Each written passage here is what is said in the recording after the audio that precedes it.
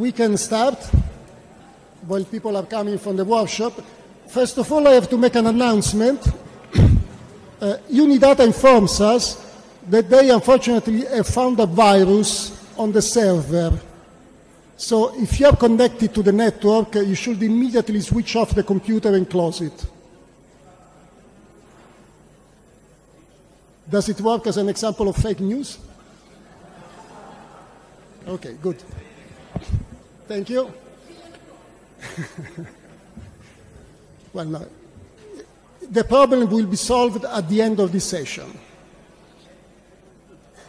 So, thanks a lot. My name is uh, Fabrizio Sestini from the European Commission. And the first thing I would like to do actually is to thank, and uh, I will never uh, stop to thank them, all uh, the community Rome and Flavia Marzano for hosting us in this uh, splendid, magnificent place. It's really nice, and I'm really proud of being here. Uh, I'm not from Rome, but I've been living here for a long time, and I really uh, appreciate this as a unique opportunity to host uh, this uh, kind of interesting event. Um, of course, that doesn't take off the, the, main thanks is to you for being here, for bringing uh, all this content, all these interesting discussions uh, in a single place and to have all these kind of meaningful uh, interactions. So, um, let's start uh, uh, with the presentation. And the first thing I would like to do is uh, to uh, spend a few words uh, on the concept of digital social innovation, because you know this is the context in which the CAPS initiative is growing, and Uh, this is the concept that has been discussed at large during this event. So why we consider that digital social innovation is important? Uh, there are uh, just a few points, so it's important for society, of course, because, for instance, it allows to create new public services from the citizens for the citizens, and of course, pay attention, services which are not meant to replace public services, but just additional one, perhaps more effective, perhaps challenging towards traditional services. It's important for the environment as well. You have seen in many sessions how open source based solutions may be key to monitor the environment, to be aware of problems and of possible collective solutions. Uh, it's important for the economy because it enables new economic models uh, such as the collective sharing collaborative economy, but also distributed manufacturing and other paradigms which are emerging. And uh, last but not least, it's important for the internet itself, because this digital social innovation is enabled by the internet, but uh, can also be used to learn important lessons uh, about where the internet should go, what should be the developments of the internet which are more supportive of this kind of digital uh, social innovation, such as uh, uh, distributed architectures, decentralized paradigms for data governance, etc., etc. So, and the, some key aspects of the digital social innovation that we have seen today, uh, of course, that it is participatory, is something, is innovation by the people and for the people. Uh, it's open, it's open to new ideas uh, as well as to new actors. Uh, it's bottom-up, which is a different way, if you want, of seeing the same concept, but is leveraging on people's creativity. It's not depending on some top-down, uh, possibly government uh, or industry-driven solution. And uh, again, a different perspective to see the same concept is decentralized. So it's something alternative to the centralized platforms that uh, are dominating, unfortunately, the internet scenario nowadays, or is trying to create alternatives uh, so to give people a choice, which is an essential element uh, in democracy. And uh, again, last but not least, but it is multidisciplinary. This is a key characteristic that uh, we try to uh, enforce in the call, you will see how, but uh, uh, innovation happens at the crossroads of different disciplines, and this is a concept we firmly believe in, and uh, we are encouraging you to uh, push this to the maximum extent in your projects. And that is the purpose of collaborative projects, to put together partners from different countries of Europe, but as well as from different origins, different disciplines, different backgrounds. And then uh, I've seen uh, uh in this uh, uh, conference a lot of attention towards uh, the idea of a manifesto.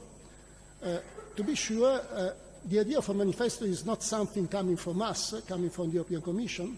It is an idea that has come up within the accompanying measures that we have within the CHIC and the DSI4EU. So it's not something that we are trying to push, but it's something that we welcome a lot. Because uh, when I first heard about this concept, I thought it was a very good idea. And uh, we are just uh, creating an environment for this manifesto to come up. But of course, uh, this manifesto can be successful only if it really enjoys the support and the participation of all the actors who believe in this. So this is really now up to you to tell us uh, what you want from this manifesto, which kind of messages you want to pass.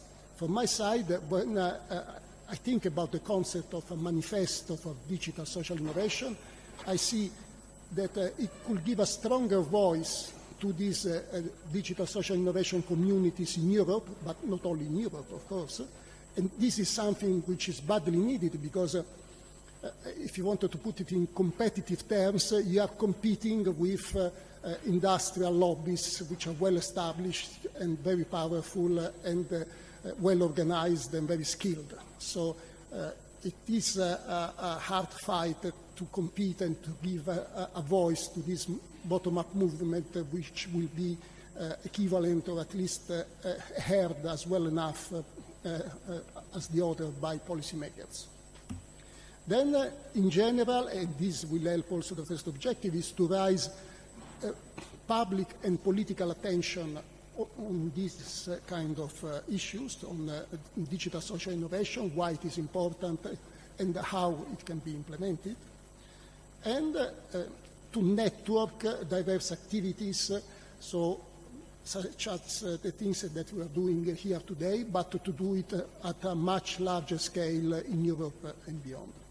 But again, this is uh, my perhaps personal or limited view of the importance of this manifesto. is really up to you to uh, express your priorities and then eventually, I think, to sign up to this manifesto in some manner, possibly uh, online on the website.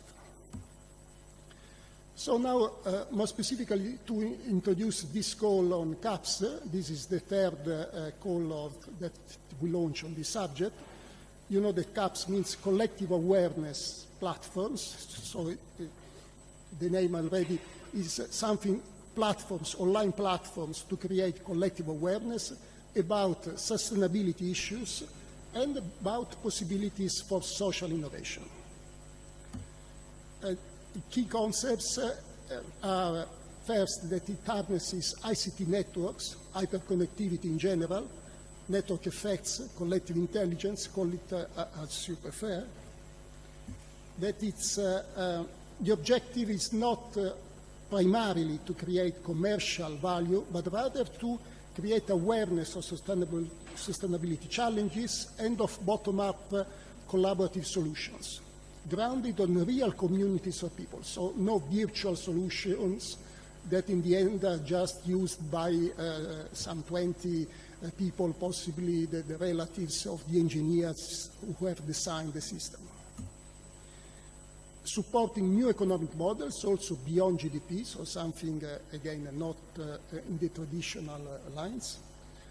Based uh, on open data, on open source, on open hardware, in general on uh, participatory uh, innovation paradigms. And uh, this is the condition relative to multidisciplinarity, requesting participation of at least two entities which are non-ICT. So something different from computer science departments, telecommunications, manufacturers, etc., etc and uh, finally appealing to new uh, grassroots actors, so uh, social entrepreneurs, students, hackers, and in general civil society. Uh, this is to give a, um, an idea of the projects, most of which uh, uh, have been here in these two days to present, to showcase their, in most cases, first early results.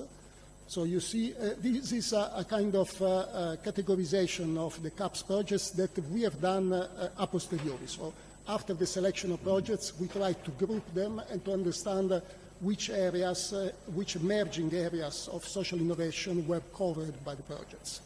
And we found out uh, projects in open democracy, in open policy making, in the collaborative economy, in the collaborative making, uh, uh, in the collaborative consumption as well, uh, in, more in general, new collaborative approaches uh, for inclusion, for agriculture, for health, uh, for disasters, for water management, etc., etc.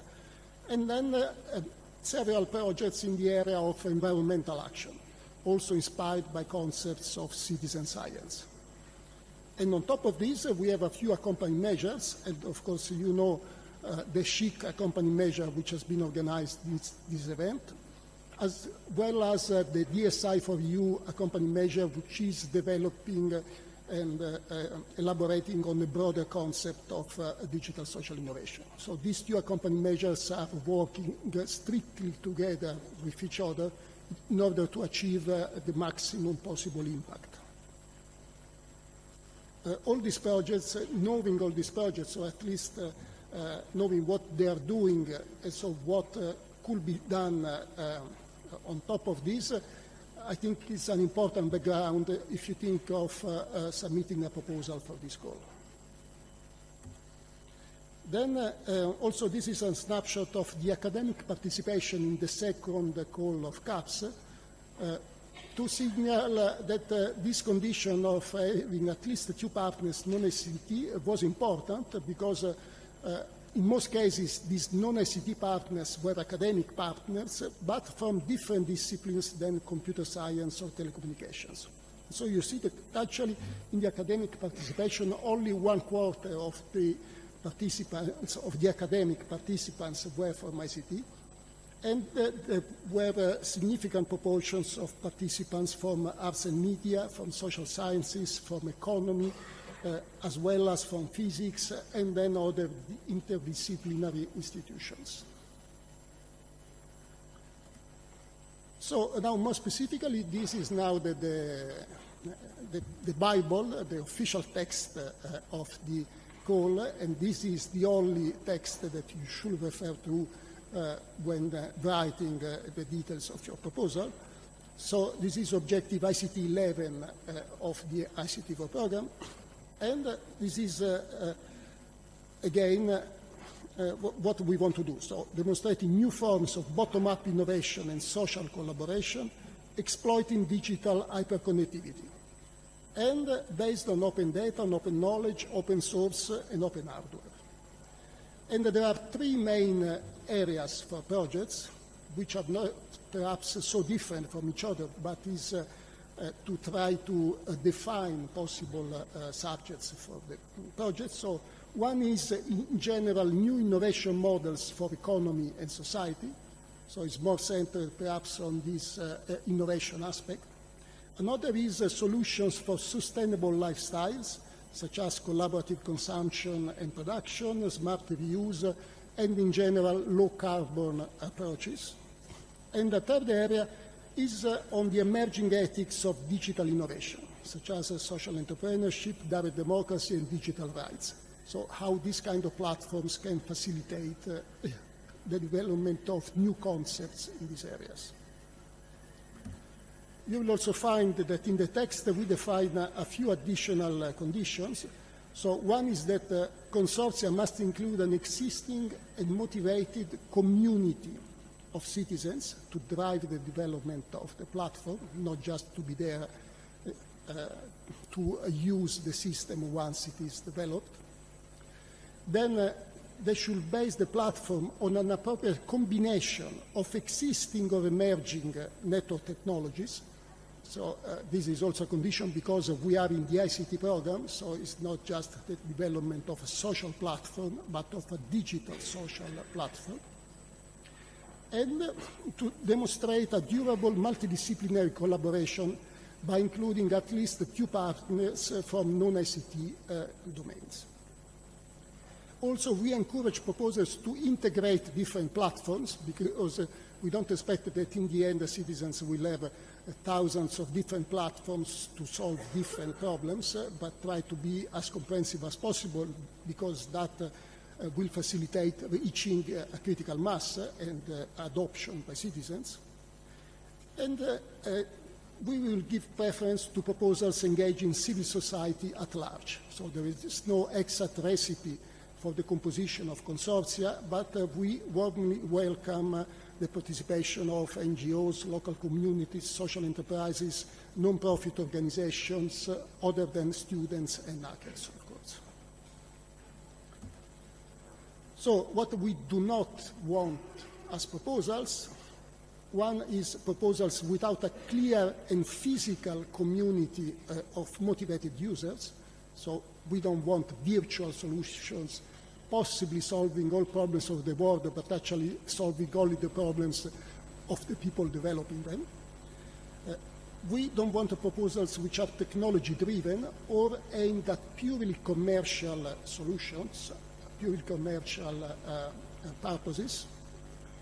And we want, again and again, consortia uh, with at least two partners which are focused on non-ICT disciplines. We also have a, a, relatively small part of the call, so the total call is 10 million euro, and uh, uh, we have uh, 1 million for coordination and support actions. And the purpose will be similar to what the current support actions are doing now, to coordinate and support the CAPS initiative and the underlying broader digital social innovation constituency. So by identifying links, uh, synergies, uh, ensuring visibility, and also contacts at European and international level. And as for the expected impact, uh, you also find a list of uh, uh, areas uh, where you can uh, define and justify the uh, expected impact of your proposal. Uh, one is to demonstrate the difference in effectiveness of the proposal that you are submitting compared to existing approaches. Another is uh, the capability of this proposal to reach a critical mass of users, uh, of citizens uh, using it. And also the capability to transpose actually this approach to different areas related to sustainability. Then uh, the capability to achieve a, a, a, different way of seeing the same thing, but uh, to achieve an effective involvement of citizens and of relevant new actors in decision making, uh, in the collective decision making, which should be enabled by this kind of platforms also to achieve a measurable, uh, and I insist on the word measurable, uh, improvement in cooperation among citizens. So among citizens, researchers, public authorities, private companies, and civil society organizations. So it's this networking effect uh, uh, as well, which is important. And finally, the capability to uh, develop uh, concrete indicators to assess the social impact of these proposals. This is a topic which is quite complicated, and uh, Gianluca will talk to us about this, uh, and, but which is very important for us as policymakers, because of course uh, we are spending some money some significant amount of money on these platforms, and uh, normally taxpayers want to see what is the impact of these uh, what they get in return for these kind of investments. And uh, I think that's it. I just thank you for uh, your attention, and uh, I would like to uh, ask for questions now, so soon after this presentation. Uh, we will have some 10 or 15 minutes for questions, if there are questions, of course, and then we move to the final presentation of Gianluca. No, you cannot applause. now, please, questions.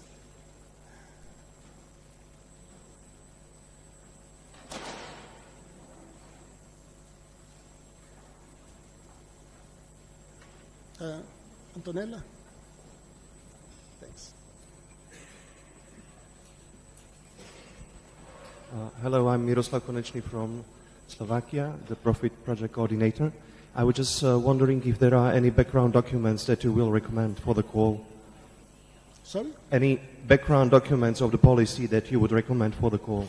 So, yeah, uh, that comes uh, handy as a question because uh, uh, we have a, a, brochure which we just published uh, on uh, all the CAPS initiative and the CAPS projects which are running, which you find actually on the table at the entry, so uh, there is enough for uh, each of you.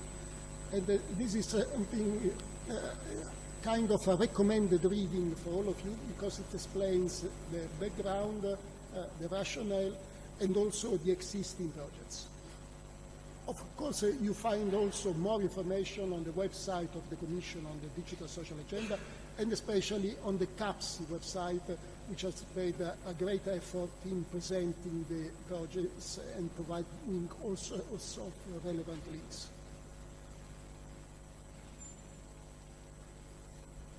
Yes?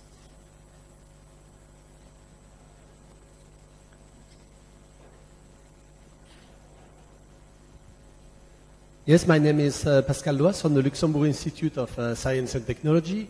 Uh, we plan to have a project uh, targeting tourism uh, in the Mediterranean area with the idea to make mass tourism more sustainable. The question is, may we include uh, non-EC countries? I'm thinking to Tunisia, Morocco, for instance. As in all the ICT programs, it's always possible to include the partners from outside Europe and normally they get funded unless they are from US or Canada. Or, uh, in those cases, we are more picky. But uh, in general, we welcome participation from non-European countries. Of course, not the majority of partners, uh, but uh, a reasonable participation and justified participation.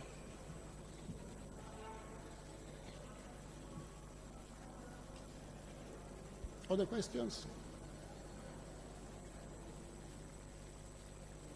By the way, there will be um, another uh, info day in Barcelona, uh, okay, on the 7th of February, so just next week, next Tuesday in Barcelona. I don't expect many of you to be there, possibly, but in case for spreading to other people who could not uh, come in uh, today. Monique. Uh, Fabrizio, uh, my question is about um, the relevance of the ICT 11 to ICT 41. I think they are strictly related. I think yesterday we touched some of the points. What would be your recommendations with respect to that? Well, for proposals uh, to this call, uh, not much, because uh, uh these are, uh, for the moment, separate calls. Uh, of course, there is a potential for CAPS projects in general, for the approaches that you develop here, to be seeds uh, for uh, future proposals also in uh, the next generation internet area. And we expect actually a, a strong drive from the concepts we are developing here for the definition of the future calls in next generation internet. So there is a, a kind of continuation.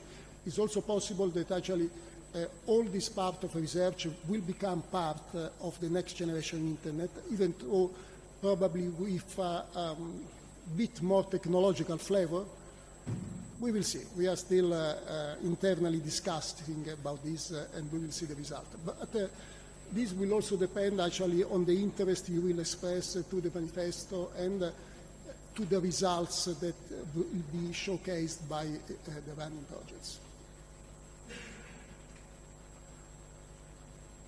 Any more questions? Remember, you still cannot uh, reopen your PC because the problem will be solved only after the presentation of Gianluca. Okay, then thanks a lot. If you have further questions, I will be around anyway today. Gianluca.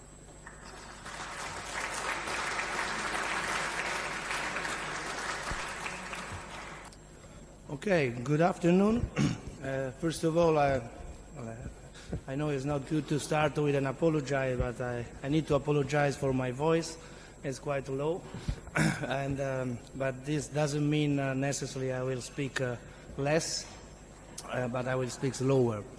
Uh, so I will try to, uh, um, and yeah, so I will try to uh, to get to be quick also because we are getting to the, the end of this uh, very intense and uh, interesting uh, event. And I want to thank the organizer, of course, in particular Monique, uh, Antonella, Andrea for the, invitation and the wonderful experience. Uh, as Italian and from Rome, that's my own city, is always a, a, a, an honor to speak in the in the room uh, in the Sala dei Orazi e Curiazi, where the Treaty of Rome was uh, signed 60 years ago.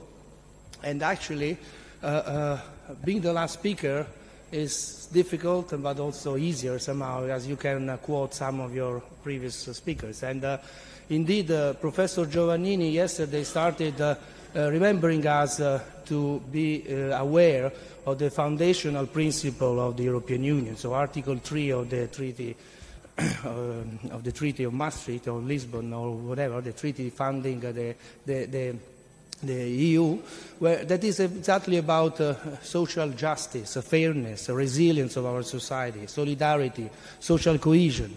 These are the keywords that has been uh, touched upon in this conference and uh, we need to remember exactly in these uh, turbulent times.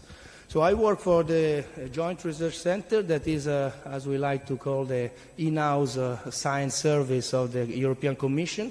So our work is to provide evidence-based research to policy making. And in particular, I'm based in Seville, where I lead the research area on uh, welfare systems innovation and social change. And we are very much uh, uh, addressing the issue of human capital development and employment and reform of the welfare uh, state. So what I want to, in fact, uh, uh, bring on the table here is a kind of complementary perspective and uh, how actually ICT-enabled social innovation, digital social innovation, can promote social investment and in turn contribute to modernize social protection systems. And then, uh, of course, providing input for the much needed uh, redesign of the European social model system. Now, the policy context, uh, we all know, we are actually uh, on what is called the jobless recovery. Uh, so the labor market is no more the one we knew. Uh, shifting demographics, dynamic workforce, the rise of individual choice, technological revolutions, and uh, of course uh, the emerging uh, needs and sophistication of client and the data deluge. So we are high, in a situation of high unemployment, unfilled jobs, it was mentioned yesterday, uh, the uh, high productivity and stagnant wages, uh, and so on and so forth. You all know the situation by looking at your fellow citizens uh, in the streets in, in Europe. Um, our research background, uh, of course, policies uh, are focusing on innovation and social innovations. so we try to see how this is helping or can help um, let's say, redesign uh, the service delivery and the social policy design. Uh, our, let's say, policy of reference is the social investment package that was adopted uh, in 2013, and that is actually uh, uh suggesting a change of paradigm in the way we, um, let's say, design policies uh, for the most disadvantaged in society, but also to prevent the risks that any of us could have during his life course. And of course, uh, the main goal is to address all the, the, challenges we have. And many initiatives and funds have been uh, uh, disbursed, but there is little evidence uh, of the impact, as also Fabrizio said. Uh, uh, this is not only for the research project, but also for the more structural policy intervention. So our research started in collaboration with DG Employment and Social Affairs and Inclusion uh, three years ago now, and the idea is to really contribute some knowledge and better understand the phenomenon and analyze impacts. So we are building, we have been building uh, what we call the knowledge base over three years, and we are developing uh, what we call the I-frame, a framework to assess the social and economic impact. I will uh, say a few words on that. Our conceptual analytical framework, uh, we could, uh, of course, we would need much more time, but you can read our reports, is to look at uh, two, four main dimensions. One is on, I mean, two we have on the, on the slide here, are the, let's say, the ICT-enabled innovation potential and the key elements of social innovation, and then at the integration of services. That is very important because often we see very effective solution in an area that are not uh, used in another area. So, and now exactly with technology we can leverage on, uh, um, on this integration uh, on the different uh, levels. And of course we can go beyond uh, what is normally the public provision of social services, uh, trying to be more pervasive. So I said uh, we have this uh, knowledge base. Just yesterday we published uh, the consolidated analysis of three years of mapping with over three, uh, 600 initiatives uh, across Europe. Um, but, uh, and we also have uh, released today our JRC Insight. is a, a six page. If you don't have time or willingness to read all the report, you can just go there and see the key messages from a research and policy implication perspective. And they're all online. But of course, as we said, our, uh, let's say, um, ambition is try to look uh, for evidence. And uh, because uh, despite there are so many good uh, projects and uh, initiatives very relevant, often it's difficult to find the evidence that this works or not. And so we have analyzed half of this database, that we call it the IESI knowledge map, that looks at um, initiatives that have some uh, evidence of uh, outcome. And uh, I can tell you, and people that have been working with me on this uh, challenging adventure, it is quite difficult to find evidence of impact uh, or either of outcome. And of course, uh, this is also linked to the culture of evidence-based or evaluation measurement that some countries have more developed than others. Um, but uh, uh, there is uh, a number of, I mean, this culture is increasing, but still is, it remains at the service level. So not when it comes to systems, to trying to analyze systems, social systems or, or, um, or policy, it's much less um, developed, or at least there is less evidence, or, or, or we are just at the beginning. Now, an helicopter view of our knowledge map shows that anyway, we see some interesting results in the fact that this seems to be at the intersection between the, the uh, let's say, the more integration of services and more disruptive use of ICT-enabled uh, innovation, that there is something happening. And this al always in a collaboration between different partners. So it's not just the public or the third sector or the private sector, but there is collaboration. And this is uh, uh often uh, uh, very fruitful. So some key insights, as we do not have much time, but it seems that there is evidence, actually, uh, that shows that ICTs have a strong potential. Uh, it's not because we are geeks or uh, we like ICTs that uh, uh, uh, we, we, we, advocate for social innovation and digital social innovation, but it's because this is actually proven to be, let's say, generating public value. Um, the third sector has a very important role, is playing a very important role, um, but uh, cross-sector collaboration is much more uh, powerful. And there is also evidence that confirms actually a changing role in the, uh, in the ways different stakeholders operate in the field of social service provision. It's not only the, the, the city of Rome, just to make an example, that provides service to the elderly people, but there are uh, many organizations working with them that could uh, be better integrated into the institutional policy design. Uh, and many initiatives are actually uh, impinging on democratic citizen, citizenship or active citizenship that is a fundamental part of their value proposition. Now, some uh, policy implications. Uh, clearly, any redesign of social policy in EU member states uh, depends on active citizenship. You are an extraordinary uh, example of this. Uh, and this seems to be a prerequisite for calibrating the welfare provision mechanism. This cannot be imposed on the citizen, but citizens need to be part of this uh, process. Uh, ICT-based multi-partnership, open collaborative processes uh, uh, are, can be an instrument to also attract private investment in the welfare services. And also, ICT-enabled social innovation involving various stakeholders in this innovative service delivery mechanism can, uh, uh, let's say, make uh, public resource be more efficient. And finally, and this is very much in line uh, with uh, uh, the call of the CAPSSI, as Fabrizio mentioned, there are new business models enabled by ICTs that are emerging, but they need to, to be studied so that other investment uh, mechanism can be used and leveraged, such as the Juncker Plan or the European Fund for Strategic Investment, uh, that could actually unleash strongly uh, social policy innovation to systematic reform. We have gone uh, deeper in the analysis, looking at uh, what is the link between uh, social innovation, ICT-enabled, and more let's say, boring uh, welfare reform, pension systems, uh, and so forth. And they seem to be a, a kind of systemic uh, event, effect We've been looking at 14 member states, and now we are working on 14 use cases and scenario views. Some actually are still, uh, uh, we are still searching for some, so if you have a good case, uh, we'll be delighted to, to, to help you assess it. Now, this is very much linked to the very hot uh, debate uh, we are all witnessing uh, today uh, of strengthening the social dimension of the economic and monetary union. So President Juncker, in his uh, statement at the European Parliament, uh, uh, said he wants in Europe uh, AAA, like it is in the economic uh, uh, sense.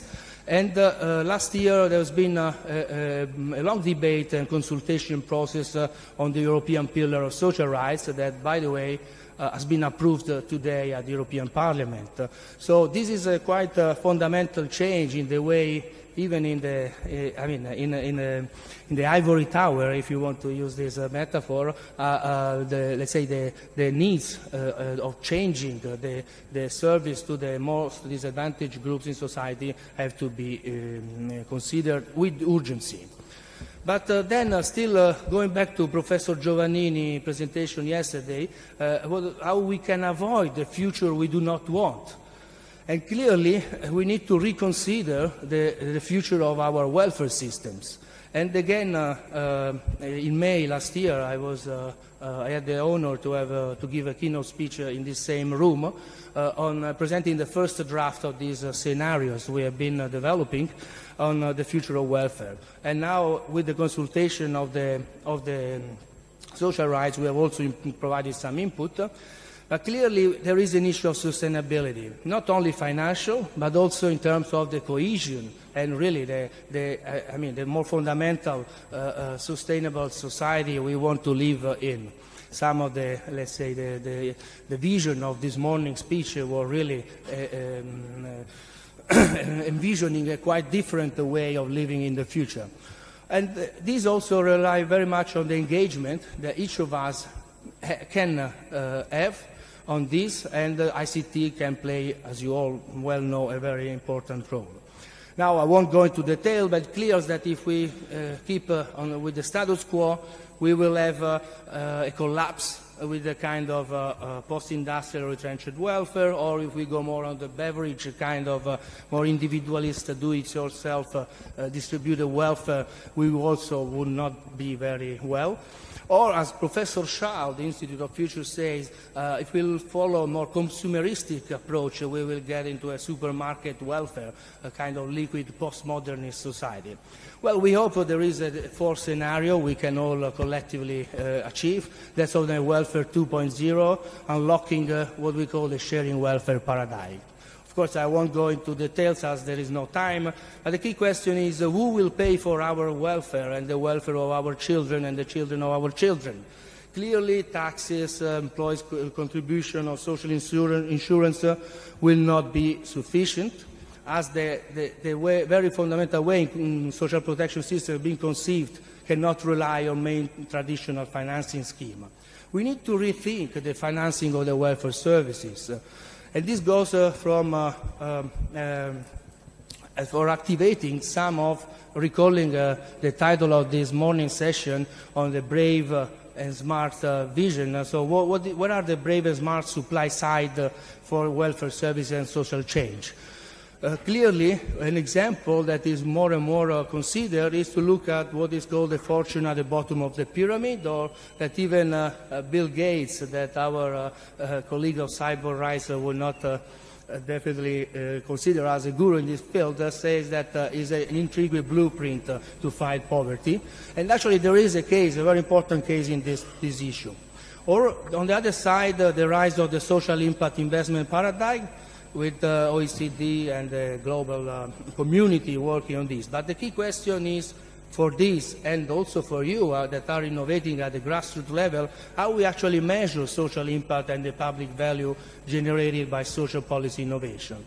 There are a, a number of limitations and challenges. I will not go into detail, but clearly we lack approaches uh, that can unveil the complexity of social systems and address the weak problems that are embedded in social policies and systems. And clearly, there is a lot of anecdotal evidence, but very little scientific evidence that shows that the social impact uh, is uh, actually also generating a, a, sustainable return on the investment. Is it true or is it just wishful thinking? clearly, we, and what we should do to make this uh, actually be uh, embedded in the so-called uh, social policymakers toolkit. We need to provide more evidence of social impact and value creation, and some of the international organizations are working on this. We are also giving our small uh, contribution.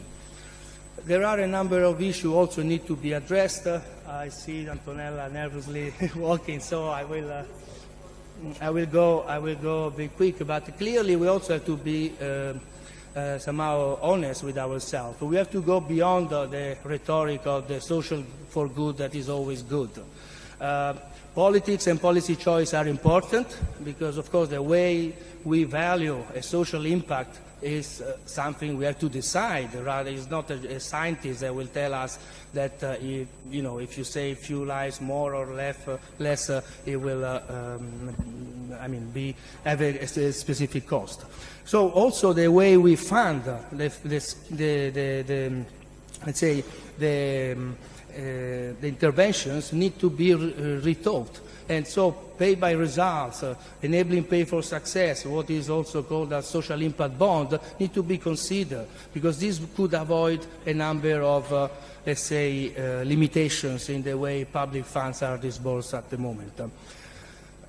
so what we are doing, just to get to a conclusion, we are trying uh, as researchers to contribute to, to deconstruct the complexity of the social policy innovation uh, uh, uh, ecosystems. And how we do that uh, using complex systems theory, of course, or trying to do that, as this is a complex uh, uh, ecosystem to, to be addressed.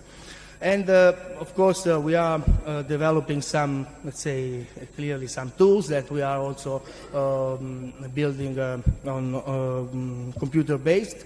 And uh, uh, in particular, in fact, uh, and this is really the, the, the, audience that is very, um, let's say, um, that should be ready to embrace the changes. There are some social technical trends that could help us uh, going into developing some uh, ICT-based simulation and system modeling tool that, again, quoting Professor Giovannini yesterday, is something we really need. We need the modeling tools that uh, would, uh, can, could allow us to better understand the complexity of the modern society.